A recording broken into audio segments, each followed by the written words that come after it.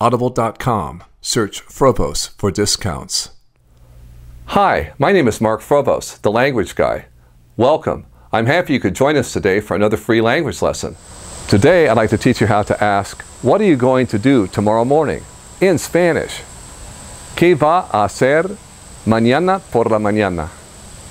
¿Qué va a hacer mañana por la mañana?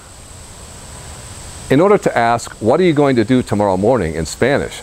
Simply ask, ¿Qué va a hacer mañana por la mañana? ¿Qué va a hacer mañana por la mañana?